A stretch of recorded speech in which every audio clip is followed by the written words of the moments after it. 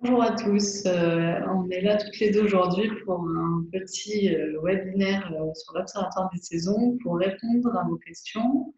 Vous, donc les observatoires, les observateurs, mais aussi les relais de ce programme de sciences participatives, toutes les questions que vous vous posez sur le programme de l'Observatoire des saisons.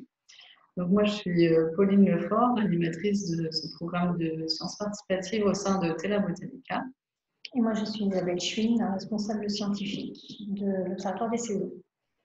On va vous faire un petit partage d'écran pour euh, présenter les questions euh, qui nous ont été posées au préalable et on va essayer d'y répondre. la première question, c'est sur euh, la taille des arbres fruitiers. Est-ce qu'elle a une conséquence sur le comportement phénologique de ces arbres? Et si oui, comment on peut faire remonter ces interventions humaines sur les individus dans la prise en compte des données? Effectivement, la, taille a des conséquences sur la, phénologie des plantes. Euh, elle, a tendance à retarder en fait le développement, la floraison, surtout quand la taille est tardive. Et c'est d'ailleurs euh, euh, quelque chose qui est utilisé, notamment en viticulture, pour retarder intentionnellement euh, le débourrement chez les variétés précoces pour limiter les risques de gel tardif. cette information, donc si, si, vous observez des arbres, notamment les arbres d'ornement, d'alignement qui sont parfois taillés, si une année donnée, euh, votre arbre a, été taillé, vous pouvez faire remonter cette information dans le champ commentaire euh, de, dans l'outil de saisie. En sachant qu'avec le nouveau site internet qui devrait sortir au printemps 2020, vous pourrez commenter non pas que l'individu euh, dans un champ commentaire comme c'est le cas actuellement, mais aussi commenter votre observation. Donc, euh, s'il y a des années euh, avec taille, vous pourrez le préciser. Euh, deuxième question, il y a beaucoup d'espèces observées dans le proposées dans le protocole, pardon, mais tous ne sont pas suivis et observés. pourquoi? Oui, certaines espèces sont moins observées que d'autres. En général, ce sont, les, ce sont plutôt les espèces animales parce que ce sont les espèces qui sont sont moins fréquentes. En disant euh, la, fréquence de, de rencontres est, moindre. Donc, euh, euh, on collecte moins d'informations sur ces espèces. Ça peut être aussi des espèces qui, sont, qui posent plus de problèmes d'identification ou des espèces qui sont, qui sont moins communes que d'autres. Donc euh, peut-être que sur certaines de ces espèces, on pourrait euh, faire des, des, petits zooms chaque année pour présenter euh, ces espèces, pour vous apprendre à mieux les connaître et du coup, les, observer. Alors, troisième question, pourquoi garder des espèces dans la liste des espèces comme le pissenlit qui a pourtant plusieurs floraisons? Les espèces euh, herbacées euh, ont souvent plusieurs floraisons dans l'année, c'est le cas du, pissenlit. Et le problème qui peut se poser, euh, notamment à cause du réchauffement climatique, c'est que ces, espèces-là font de moins en moins de, pauses hivernales, c'est-à-dire qu'elles ont tendance à, fleurir même en hiver. même si c'est des espèces printanières et que la première floraison a lieu au printemps, euh, on, a de plus en plus de mal en fait, à identifier euh, la, première floraison de l'année. Et euh, le, fait qu'il y ait plusieurs floraisons chez ces espèces herbacées, c'est la raison pour laquelle on, demande d'observer uniquement la première floraison, chez ces espèces. mais voilà, le, changement climatique bouleverse un peu les choses et on réfléchit à comment euh, éventuellement en fait euh, enlever certaines des espèces euh, dans la, de la liste qui ne seraient plus adaptées qui, qui, posait trop de problèmes. On n'a pas encore statué sur tous les cas et dans la, lors de la mise en production du nouveau site internet du programme, on aura, on aura, fait, on aura statué et peut-être on aura supprimé certaines espèces. Autre question, il y a de nombreuses espèces qui peuvent être suivies par d'autres observateurs, donc des naturalistes passionnés, comme par exemple dans le cadre de la LPO avec des, observations ornithologiques ou autres, hein, dans d'autres programmes de sciences participatives. Et, c'est vrai que ces observations peuvent nous donner des, informations sur la phénologie. Donc, est-ce qu'il y a un lien qui est fait pour récupérer ces données? Alors, il, existe effectivement beaucoup d'associations naturalistes qui collectent des données. Euh, en général, ce n'est pas des données phénologiques, c'est plutôt des données d'occurrence d'espèces ou de présence d'espèces euh, à un moment donné, à un endroit donné. Mais euh, on, a des contacts avec un certain nombre de ces réseaux naturalistes. Là, on sort en fait du contour de, l'Observatoire des, saisons et on est plutôt sur les missions du SORE Tempo, euh, dont fait partie l'Observatoire des saisons. Le SORE Tempo est un système d'observation et d'expérimentation pour la recherche en environnement euh, qui a pour mission de euh, diffuser les, données phénologiques à l'échelle de, la France et c'est dans ce cadre-là euh, que l'on travaille avec d'autres euh, structures ou associations qui collectent de l'information que l'on peut traduire euh, en, données phénologiques. Donc c'est au travers du portail du SEO Tempo que ces données-là deviendront disponibles.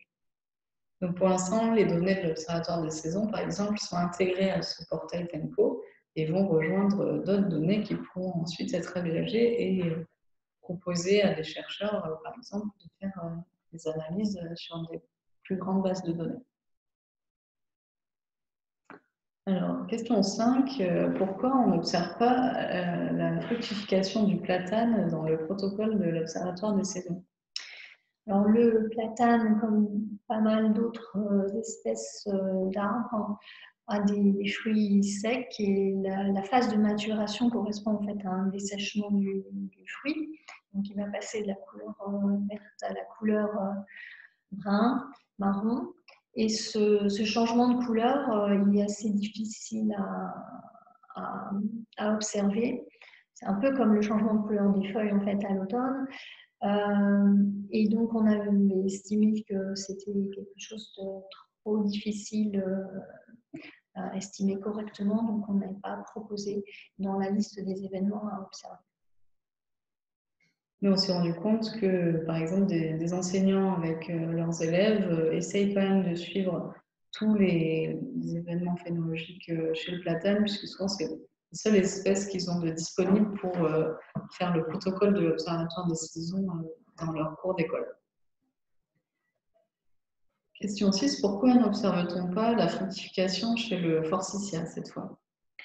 Bien, Tout simplement parce que le forsythia ne produit pas de fruits. Donc, euh, on ne peut pas noter cet événement de fructification pour cette espèce, donc il n'apparaît pas dans le, le Et c'est le cas de beaucoup d'espèces ornementales. Euh, il n'y a pas de fructification observée euh, en France. Euh, pourquoi on n'observe pas, euh, non, on observe uniquement les fleurs mâles chez les espèces qu'on dit euh, monoïques et dioïques? Pourquoi en fait on n'observe pas aussi les fleurs femelles dans le cadre du protocole? Donc les espèces monoïques et dioïques ont les fleurs mâles et femelles séparées. Donc soit sur le même pied, le même individu, soit sur des individus différents. On a des individus mâles, des individus femelles. Euh, dans la plupart des cas, les fleurs femelles sont euh, très petites, comme c'est le cas de la fleur femelle du noisetier, dont on voit la, photo ici. et donc c'est très difficile de suivre en fait le développement de, de ces fleurs. Donc on a estimé que c'était trop difficile. Et euh, c'est pourquoi on propose d'observer uniquement la floraison des fleurs mâles qui, elles, sont beaucoup plus voyantes, en particulier quand le pollen euh, est libéré dans l'atmosphère, euh, la couleur la couleur caractéristique jaune caractéristique du pollen est, assez facile à, percevoir. Donc, on a fait ce choix. Et on est très nombreux dans les observateurs à connaître les fleurs du noisetier sont en fait les inflorescences mâles sous forme de chatons. Et peu de personnes connaissent en fait la floraison femelle qui est très discrète. Mais une fois qu'on le sait, on peut quand même la trouver. Et puis, qui sait, un jour, on posera peut-être euh, à l'observation les fleurs femelles, euh, si on se rend compte que. Ça a un intérêt. Ah, mais ça a un intérêt, c'est sûr, mais si les participants euh, se, s'en sentent un jour capables, pourquoi pas Question suivante, pourquoi faut-il suivre un protocole commun? Alors, suivre un protocole commun est absolument essentiel si on veut pouvoir analyser les données euh, collectées. C'est vraiment euh, capital. Sans protocole commun, on ne pourrait pas euh, comparer nos observations entre elles. Donc, si on veut utiliser les données collectées pour répondre à une question scientifique derrière, il faut absolument qu'on suive un protocole. Et pourquoi faut-il faire des observations sur plusieurs années? Alors, l'Observatoire des saisons est un observatoire des effets du changement climatique sur la, faune et la flore.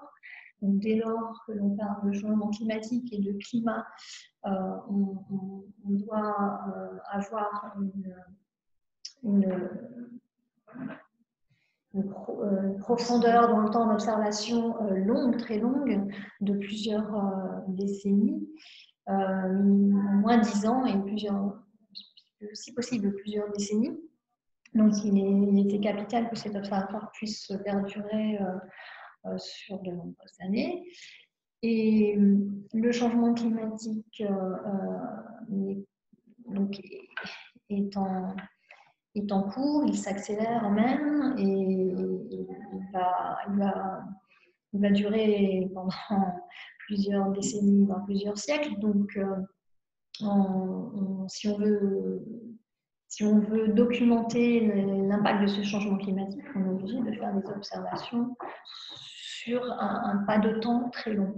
Euh, et d'autant plus que les, les conséquences que l'on observe euh, euh, que l'on a observées au cours des, dernières décennies ne seront pas forcément les mêmes que celles que l'on va observer dans les prochaines décennies. Donc, voilà, essentiel de maintenir dans la durée ces observations. Alors, on en est à 12 ans. Le désherbage pratiqué par l'homme depuis des millénaires, une flore particulière parvient à se maintenir. Désolée. Euh, on en est à 12 ans oui, de l'Observatoire des saisons, donc on est sur une bonne voie, mais on vous incite à continuer à participer. Et il faut noter aussi que même si vous suivez une espèce euh, tout au long d'une seule année, euh, c'est déjà des données qui, sont intéressantes et qui vont enrichir la base de données. Et plus on aura de données, plus on pourra faire des comparaisons ensuite et des analyses statistiques. Alors, dixième question, pourquoi faut-il observer plusieurs individus et bien les identifier?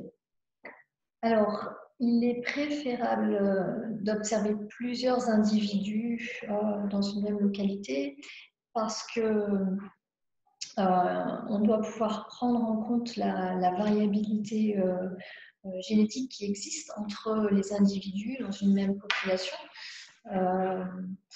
chaque individu, euh, sauf si ce sont des individus clonés, euh, euh, répond d'une certaine façon aux conditions d'environnement et différemment de son voisin. Et d'autre part, il est important de pouvoir prendre en compte aussi la variabilité microclimatique dans une localité. qui, peut expliquer des, différences de comportement phénologique entre individus distant de, de quelques mètres. Donc euh, voilà, afin d'éviter d'observer un individu, un seul individu qui pourrait être euh, euh, soit particulièrement tardif ou particulièrement précoce pour l'espèce en question, il est important de pouvoir observer plusieurs individus. Pour faire une moyenne en quelque sorte. C'est ça, pour avoir une représentation moyenne de la population qui vit dans, la, dans la région. Donc, pour euh, petit rappel, dans le protocole, pour les arbres et les arbustes, on conseille de choisir au moins deux individus sur une même station qui sont espacés entre 5 et 500 mètres. Euh, pourquoi les scientifiques se sont intéressés à un nombre limité d'espèces? Alors, la liste d'espèces proposée dans l'Observatoire des saisons est limitée. Euh, elle, elle, ne fait, ceci dit, qu'augmenter euh, cette liste d'année en année. Au départ euh, de la création du, programme, on a, souhaité limiter cette liste d'espèces, d'une part pour ne pas,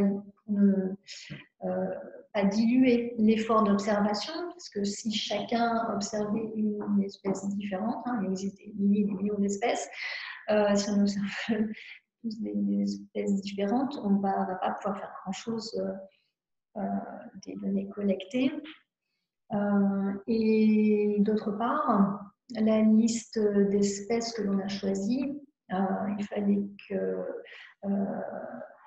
concerne les espèces relativement communes, puisqu'on fait des observations quand même à une fréquence assez élevée. On, doit observer ces espèces plusieurs fois dans l'année.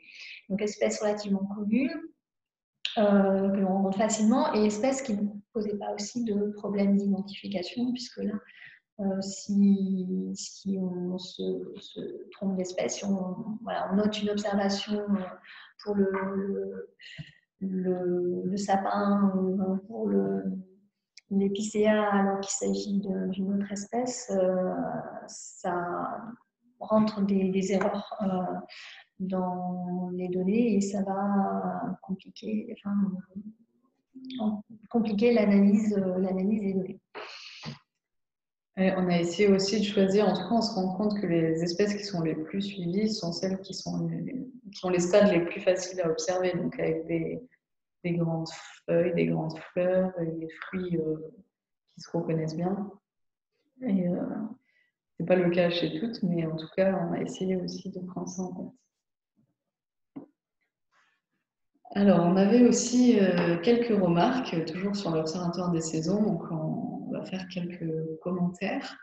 Euh, donc la première, c'est sur les pourcentages, donc ça revient souvent, qui euh, effraie parfois euh, les observateurs et donne lieu à des interrogations sur la fiabilité des données et sur les marges d'erreur. Donc, ces pourcentages euh, que l'on donne sont indicatifs, c'est-à-dire, et donc, concerne, on, on, parle ici des événements euh, qui concernent les arbres, donc le, débourrement, la floraison, euh, fructification et coloration des feuilles, euh, parce qu'à l'échelle du pied d'un arbre, les, les, bourgeons et les organes ne sont pas tous au même stade au même moment. Donc, on est obligé de, tenir compte de cela et on, note, euh, on essaie de noter deux, stades qui sont relativement euh, faciles à identifier. Le début de l'événement qui correspond à environ 10% euh, des, des, organes au stade que l'on cherche et euh, le plein événement qui correspond à environ 50%, c'est-à-dire la, majorité des, organes qui sont au stade recherché. Donc ces pourcentages sont indicatifs, mais on est obligé de les donner pour pouvoir euh, euh, euh réduire l'erreur d'observation sur euh, sur ces stades de début d'événement, de débourrement de floraison et plein événement de débourrement et floraison. Il faut savoir que c'est ces deux mêmes stades du coup, qui ont été retenus aussi par les, les scientifiques qui font des, des, suivis phénologiques. Exactement, parce que c'est eux qui ont le, le, plus de signification après en termes de fonctionnement, euh, fonctionnement de, de l'arbre. Alors, les observatoires ressentent que les amplitudes d'erreur peuvent être grandes et se disent que de ce fait, les données ne peuvent être utilisées justement. Alors, il est vrai que euh, l'erreur d'observation euh, liée à l'observateur, hein, au, au, biais d'observation qu'il peut faire, est grande sur les données phénologiques. On, on estime à 5 jours en moyenne sur les stades de débourrement ou floraison ce qui est déjà important, et même 10 jours sur les stades de coloration des feuilles. Que ce soit chez des, des amateurs ou des professionnels hein, de la phénologie. Oui. Ces erreurs. Voilà, donc ces, erreurs d'observation euh, sont, les, chiffres que je vous donne ont été estimés euh, sur des, relevés faits par des, personnels techniques, des chercheurs, euh, des instituts de recherche. Et sont, voilà, sont liés à l'erreur d'appréciation de l'œil humain des, phénomènes qu'il observe. Donc, cette erreur d'observation existe, mais la bonne nouvelle, c'est qu'on est capable de la prendre en compte dans les analyses statistiques que, l'on fait sur les données. Donc, ce n'est pas ça qui doit euh, vous arrêter à observer, d'observer. Euh, voilà, ça fait partie, enfin, dans toute donnée scientifique collectée, il y a une erreur d'observation euh, et que l'on est capable de prendre. en compte. Voilà, donc pas d'inquiétude, euh, même si vous n'êtes pas sûr de vous, euh, vous pouvez quand même euh, saisir vos données. Et il faut savoir aussi qu'avec le nouveau site internet, on va proposer d'ajouter une photo à son observation. Alors, on ne sait pas exactement comment on pourra le traiter, parce qu'on risque d'avoir beaucoup de, données, mais en tout cas, ça pourra peut-être vous rassurer de pouvoir fournir une photo avec votre date d'observation pour confirmer l'observation. Alors, troisième remarque, en observant des résultats sur le site euh, comme pour euh, le Lila, euh, on constate qu'il y a des pics sur certaines dates, mais il serait intéressant d'avoir des, analyses parce que ces résultats sans interprétation n'apparaissent pas suffisants pour certains observateurs. Donc, en effet, sur le site, on a une rubrique résultats avec des graphiques où vous pouvez choisir à la fois l'espèce, l'année et le stade et voir un petit peu les variations euh, qu'il y a eu au cours des, dernières années depuis le début de l'observatoire des saisons. Effectivement, cette rubrique, euh, ces outils graphiques ont été rajoutés euh, il y a environ deux ans sur le, site, internet. Et l'objectif était de, fournir quelques outils d'analyse, de vous fournir quelques outils d'analyse pour, pour explorer les données, pour, poser des questions et vous fassiez, puissiez faire un premier pas euh, vers l'analyse de vos observations. Donc, ces, graphiques ne sont pas là pour donner, euh, délivrer un, résultat euh, interprété, digéré, interprété. et c'est qu'un premier pas, c'est un premier essai de notre part. C'est quelque chose que l'on souhaite développer, sur lequel on continue à travailler et dans le futur proche, on va euh, sans doute fournir d'autres outils de ce type qui euh, vous permettront de, réaliser une première analyse de, vos données et de toutes les données collectées euh, dans l'observatoire.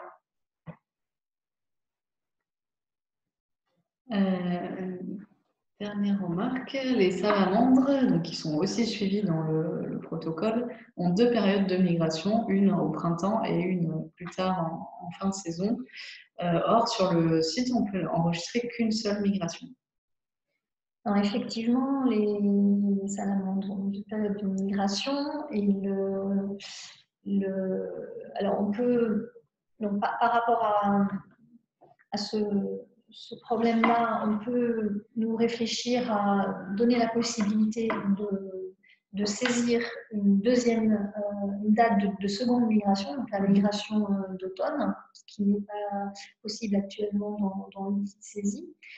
Euh, ça, c'est quelque chose à laquelle on, va réfléchir. Après, on va se poser le problème pour, pour le- les salamandres, le même problème euh, que l'on a évoqué pour les espèces herbacées, qui fleurissent plusieurs fois dans l'année, dans le sens où euh, le, la, la salamandre, la, migration de l'automne a tendance à s'étaler de plus en plus euh, euh, au cours de l'hiver. Dans l'hiver, alors que la migration de printemps a tendance à être de plus en plus précoce et nous, ça va être de plus en plus difficile de noter distinctement, bien distinctement une période de migration printanière et automnale. Voilà. Mais c'est une piste à, creuser. Euh, voilà, donc si vous avez d'autres questions, vous pouvez nous écrire à, l'adresse contact de l'Observatoire des saisons. Euh, n'hésitez pas, on, fera au mieux pour vous répondre. Et puis, euh, merci aussi pour, pour, les réponses qui ont déjà été posées. Ça nous permet d'essayer d'apporter des, des, réponses. J'espère que ça vous a éclairé. Et puis aussi d'améliorer le programme au fur et à mesure. Là, je vais arrêter le partage d'écran.